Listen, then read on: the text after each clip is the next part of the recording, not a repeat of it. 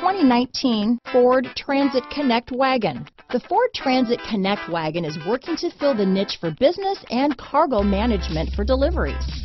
This 2010 North American Truck of the Year definitely needs a second look if you are looking for a delivery vehicle with more cargo ability and better mileage than a typical van. Here are some of this vehicle's great options.